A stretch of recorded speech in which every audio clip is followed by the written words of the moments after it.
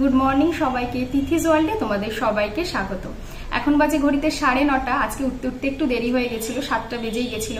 কারণ আজকে তো মহরম, সবারই কাজের ছুটি, সবাই বাড়িতে আছে। ওঠার পরে সকালে যা কাজ থাকে মোটামুটি সব হয়ে গেছে। এখন মা রান্না করছে দুপুরে। তো আমি এসেছিলাম উপরে ঘরটা একটু গোছানোর জন্য। ঘরটা তো গোছানো হয়ে গেছে। এখন একটু এই জল খাচ্ছি গ্লাসে করে, কারণ এক এক সময় না প্রচণ্ড যখন গলা শুকিয়ে যায় মনে হয় গ্লাসে করে জলটা ঢেলে যদি খাই, তাহলে একটু বেশি তৃপ্তি লাগে।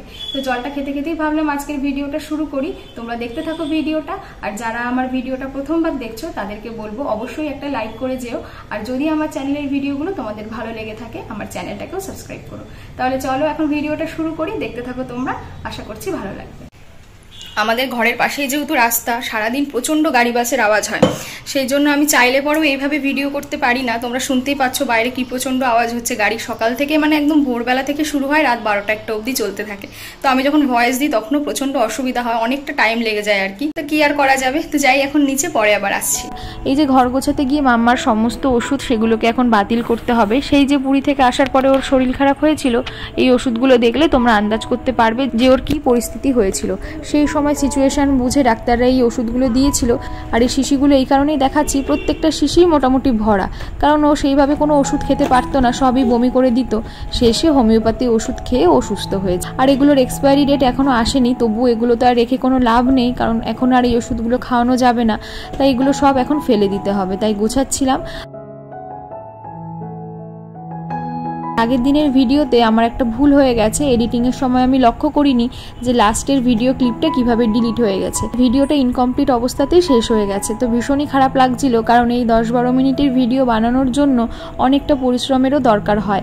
আর এতটা কষ্ট করে ভিডিও এডিট করে ভয়েস দেওয়ার পরে তারপরে সেটাকে আবার এডিট করে যখন ভিডিওটা পোস্ট করি আর এরকম ভুলের জন্য ভিডিওটা না পারা যায়, ডিলিট করতে আর না ঠিক করতে পারা যায়, তখন যে কতটা কষ্ট হয় সেটা নিজেই বুঝতে পারছি।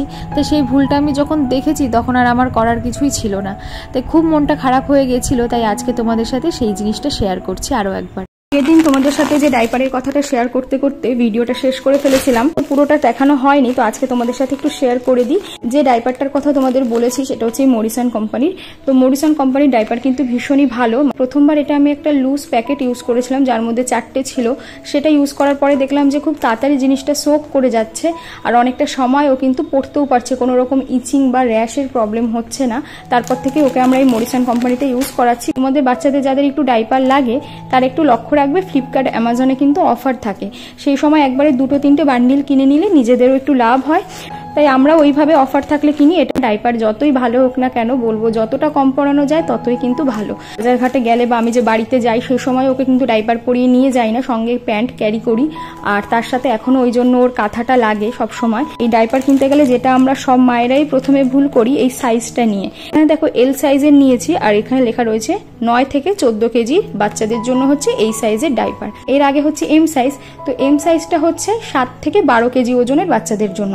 এবার আমরা যেটা ভুল করি ধরো আমাদের বাচ্চার ওজন হচ্ছে দশ বা এগারো কেজি, তখন আমরা কি করব? এম সাইজটাই নেব, কারণ ওটা সাত থেকে বারো কেজির। তো এটাই আমরা ভুল করি। ওই সাইজটা যদি নিই, তখন ওটা কি হয়? বাচ্চাদের একদম ফিটিং সাইজ কি হয়? সারা রাত ওটা যদি পরিয়ে রাখো বা দু তিন ঘণ্টা পরিয়ে রাখো, তখন দেখবে থাইতে বা কোমরে এলাস্টিকের একটা দাগ বসে যায়। সেটা প্রচণ্ড চেপে থাকে, তো বাচ্চাদের একটু আনইজি ফিল হয়, কিন্তু ওরা বলতে পারে না। তো এই ভুলটা আমিও করেছি এবং অনেককেই এটা করতে শুনেছি। তারপর থেকে যেটা আমি করি, এক সাইজ বড় ডাইপারটা নিই আমার ওজন ধরো ওই দশ কেজি মতন, তো ওর জন্য আমি এই নয় থেকে চোদ্দ কেজিটা ইউজ করি। মানে বুঝতেই পারছ মানে এক সাইজ বড়। এল সাইজটাই ওকে ইউজ করাচ্ছি আরও দু মাস আগে থেকে। যার জন্য ওর এটা যদি রাতে পরিয়ে শুই, কোনো রকম অসুবিধা হয় না। এই সাইডটা ভীষণই নরম, একদম কাপড়ের মতন মনে হয় সুতির কাপড় যেরকম হয় না সেরকম। তো বেশিরভাগ ডাইপারেরই দেখেছি এই জায়গাটা একটু সিনথেটিক টাইপের সেগুলো কিন্তু একটু অসুবিধা হয়, তো এটা অনেকটা চওড়া। যার জন্য এই ডাইপারটা আমার কাছে ভীষণই ভালো লেগেছে। তোমরা যারা চাইছো বাচ্চার জন্য একটা ভালো ডাইপারের তো আমি বলব যে তোমরা মরিসনটা একবার ছোট প্যাকেট কিনে আগে ইউজ করে দেখে নিও। তো এই সাইজের কথাটা বলার জন্যই আসলে এই ভিডিওটা করা। তো আশা করি তোমাদের একটু হলেও হেল্প হয়েছে। যত দিন যাচ্ছে, বিয়ের দিনও তত এগিয়ে আসছে। আর এই যে আমাদের বিয়ের পিড়ি, আজকে বাবা নিয়ে যাচ্ছে ওই বাড়িতে, ননদের তো বিয়ে, তাই ওর বিয়েতেও এই পিড়িটাই কাজে লাগবে। আর এখন তো ট্রেন্ডিংয়ে চলছে পিড়িতে আর গাছ কৌটোতে বিভিন্ন ধরনের কলকা আঁকা। তো ও সেটাই করাবে, তাই আগে থেকেই পিড়িগুলো আজকে বাবা নিয়ে যাচ্ছে ওই বাড়িতে। আর দিদা এদিকে সেলাই করতে বসেছিল, তাই দিদাকে বললাম, এই কাপড়ের টুকরোটা একটুখানি সেলাই করে দিতে, তাহলে ফ্রিজের ওপরে কভার হিসাবে বসাতে পারব। ফ্রিজের কভার একজনের থেকে দু বছর আগে নিয়েছিলাম, কিন্তু দু বছর যেতে না যেতে কীরকম ছিঁড়ে গেছে। সেটা চেঞ্জ করে আজকে এই কাপড়ের টুকরোটাই দিলাম। আর এদিকে সকালের জন্য মাখছিলাম আলু সিদ্ধ, প্রচণ্ড গরম ছিল, এদিকে বাবাও বসে গেছে খেতে। আলু সিদ্ধটা মাখার জন্য একটু কালো জিরে, শুকনো লঙ্কা আর পেঁয়াজ ভেজে নিয়েছি, এইটা দিয়ে আলু সিদ্ধটাকে মেখে নেব।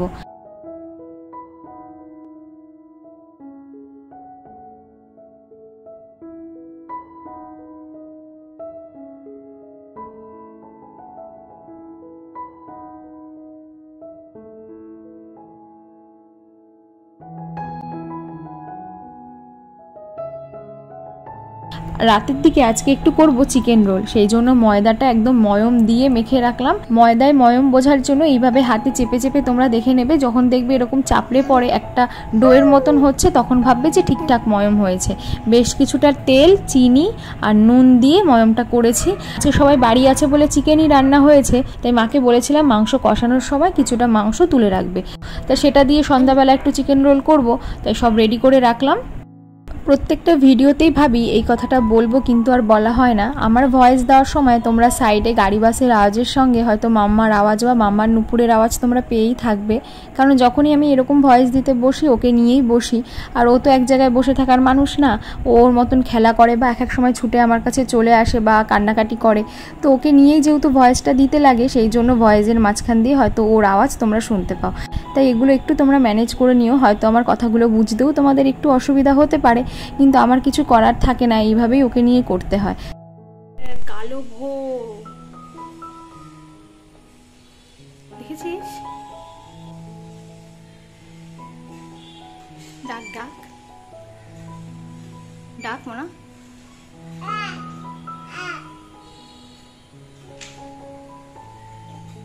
আসছে? যা। চলে গেল তো। কিরে? চলে গেল তো? আয়, নেমে আয়।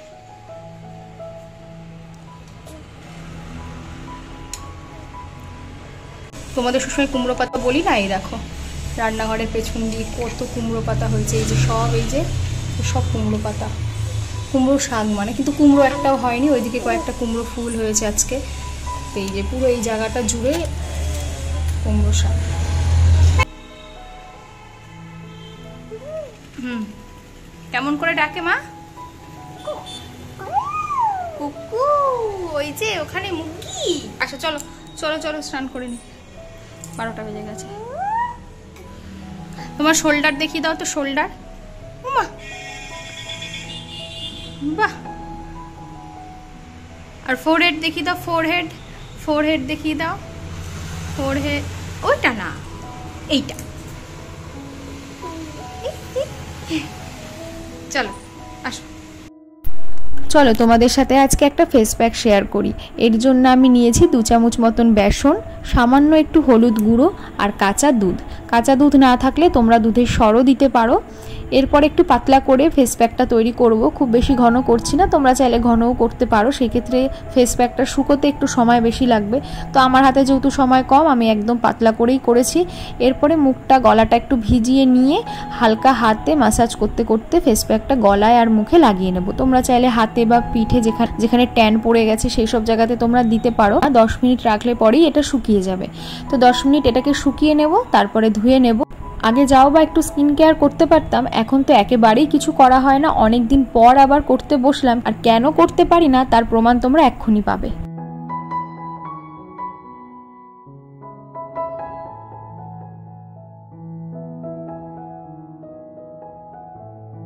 তোমাদের সাথে আমি এইমাত্র ফেস প্যাকটা শেয়ার করেছি, আর একে দেখো কি করেছে। এর আগের দিন একবার ভিডিও করতে গিয়ে সিঁদুরের কৌটো উল্টে দিয়েছে। আজকে দেখো বেসনের কৌটোটা পুরো ঢেলে। আর ওর অবস্থাটা দেখো। দেখি আমার দিকে তাকা, আমার দিকে তাকা। কি করেছিস? তোকে আমি এইমাত্র স্নান করালাম না? তাকা আমার দিকে তাকা। দেখো অবস্থা। মানে কাজ কতটা বাড়িয়ে দিল বুঝতে পারছ? ই দশ মিনিট রাখব ভেবে আর রাখতে কই পারলাম। মাম্মার এই কাণ্ড কারখানার জন্য পাঁচ সাত মিনিটের মধ্যেই মুখটা ধুয়ে ফেললাম, ধোয়ার আগে দিয়ে হাত দিয়ে একটু ভালো করে মাসাজ করে তারপরে ধোবে। সপ্তাহে দু তিন দিন যদি তোমরা এরকমভাবে ফেস প্যাকটা ইউজ করো, দেখবে অনেকটা রেজাল্ট পাবে। মানে মুখে যে ছোট ছোট স্পট থাকে, সেগুলো কিন্তু আস্তে আস্তে উঠে যাবে। আর বেসন তো এমনিতেই আর বলার কিছু নেই। তোমরা চাইলে এর মধ্যে একটু চালের গুঁড়োও দিতে পারো। তাহলে তো আরোই ভালো, একটা স্ক্রাবারেরও কাজ করবে। আজকে বললামই রান্না হয়েছে মাংস, তার সাথে হয়েছে জলপাইয়ের ডাল। আর আলু গাজর ভাজা।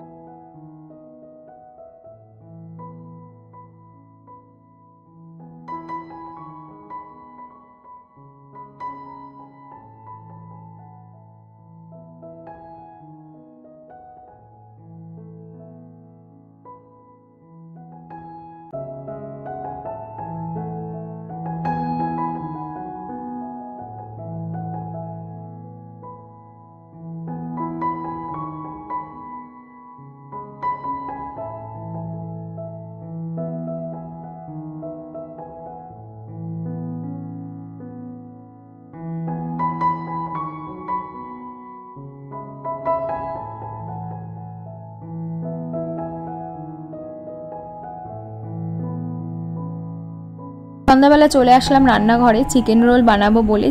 চিকেন রোলের রেসিপি কিন্তু আমার চ্যানেলে আগে দেওয়া আছে। তোমরা চাইলে দেখে নিতে পারো, কিন্তু প্রপারভাবে আজকে আর করা হবে না। যা বাড়িতে আছে সেই দিয়ে আজকে করছি, কিন্তু খেতে ভীষণ ভালো হয়েছিল। তো দেখো, এই যে বললাম, সকালবেলা মা যখন মাংসটা রান্না করেছে, তখন কষা মাংস কিছুটা তুলে রেখেছিল। আর পুরোটাই ছিল একদম বোনলেস সেইগুলোকেই কেটে কেটে ছোট টুকরো করে নিয়েছি। তারপরে টমেটো, কাঁচা লঙ্কা আর পেঁয়াজ দিয়ে মাংসটাকে একটু নাড়াচাড়া করে নিয়েছি। আর তোমাদের যদি কষানো মাংস না থাকে তাহলে ওই যেইভাবে মাংস কষায় সেইভাবে একটু মাংসটাকে কষিয়ে নেবে, ক্যাপসিকাম আর পেঁয়াজটা নামানোর আগে দিয়ে দেবে। তো বাড়িতে ক্যাপসিকামও ছিল না, তাই দিইনি, শুধু পেঁয়াজ দিয়েই করলাম। এর মধ্যে একটু চিলি সস আর টমেটো সস দিয়েছিলাম। দিয়ে ভালো করে আরও একবার কষিয়ে নিয়ে এটাকে নামিয়ে রেখেছি। এরপরে ময়দার যে লেচিগুলো কেটে নিয়েছিলাম, সেগুলো দিয়ে রুটিটা বেলে নেব। প্রথমে ভাবছিলাম যে লাচ্ছা পরোটা যেভাবে করে, সেইভাবে রুটিগুলো করব, তাহলে ভালো লাগবে। সবাই যেহেতু সন্ধ্যার পর বেরোবে, আর সবাইকে এটা তার আগে দেবো বলে তাড়াহুড়ো করছিলাম, তাই তাড়াহুড়োতে না লাচ্ছা পরোটাটা হচ্ছিলই না ঠিক মতন। তারপরে প্রথম দুটো একটু ট্রাই করার পর বাকিগুলো নর্মাল রুটির মতন বেলেই করলাম।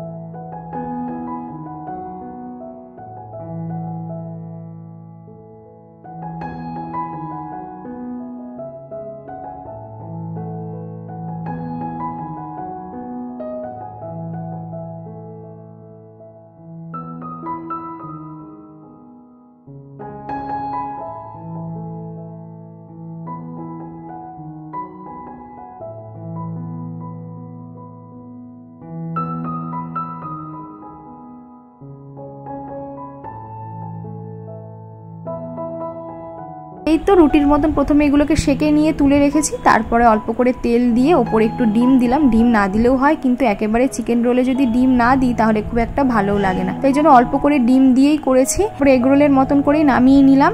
ওপর দিয়ে ওই চিকেনের পুর একটু কাঁচা পেঁয়াজ, টমেটো সস আর চিলি সস দিয়ে পরে সবাইকে গরম গরম দিলাম চিকেন রোল। আর খেতে সত্যিই ভীষণ ভালো হয়েছিল। এরকমভাবে শর্টকাটেও কিন্তু এক এক সময় রান্না করলে খুব একটা খারাপ হয় না। রেডি হয়ে গেল, এবার সবাইকে দিয়ে দিই, কারণ সবাই অপেক্ষা করছে।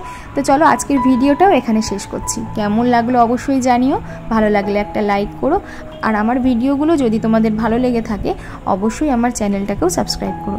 তাহলে চলো আজকের মতন টাটা, আবার পরের ভিডিওতে দেখা হচ্ছে। সবাই ভালো থেকো, সুস্থ থেকো। Thank you